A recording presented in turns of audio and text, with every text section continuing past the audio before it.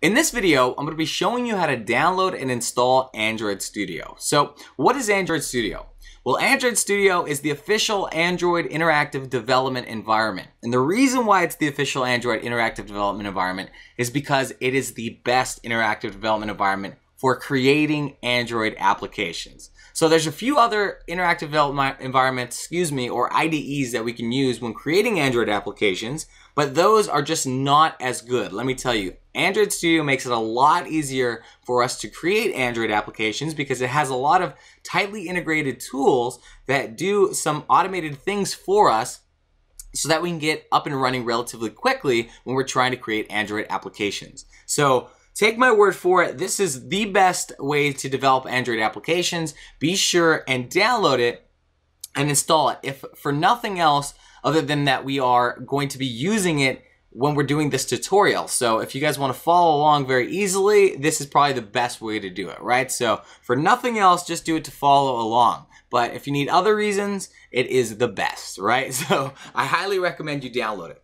Great. So Unlike the last video where I told you, you know, you could probably just punch in Google, you know, JDK. Uh, in this video, punching in Android Studio isn't going to yield the best results. I did it and it seems that a lot of the links there don't lead you to this page. So instead of, you know, going into Google and typing in Android Studio, what I recommend is that you just copy this link word for word and punch it into your browser. And if you did that properly, it should lead you to this page here.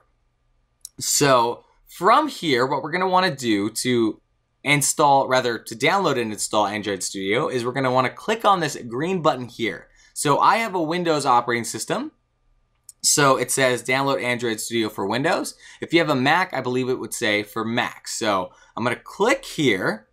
And actually, before we do that, let me just show you something. So what we did before this is we went ahead and installed the JDK, right? So you'll notice that Android Studio's requirements is that it has a Java development kit, right? That's why we installed that first, because this IDE uh, depends on having the JDK that we just installed. So just so you know. So from there, like I said, we're going to want to click on the Download Android Studio button. We'll click on I have read and agree with the above terms and conditions. And then from there, we're going to click on Download Android Studio for Windows.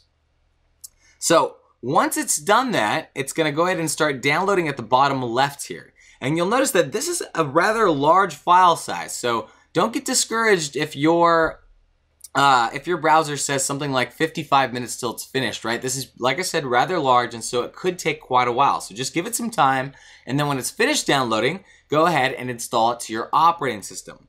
The one thing I do want to point out to you guys is um, Android Studio tells you that some people have problems uh, actually installing Android Studio because it can't find that JDK that we just installed. And the reason that is, is on Windows, sometimes you need to add a specific environment variable to your your properties, right? So just make sure that if you have trouble installing Android Studio that you follow these instructions here, right? Exactly as they say it here. So I've already done this once before and I know that it works. So the one part that's not going to be the same is yours is going to be something like 1.8, right? So pretty much you're just going to want to go to program files, then Java, and then just copy whatever it says there. So instead of JDK 1.7, you should say JDK 1.8, something like that. So that's actually going to do it for installing Android Studio, guys. Hopefully you guys don't run into this issue. That's going to do it for this video. All right, I'll see you in the next one.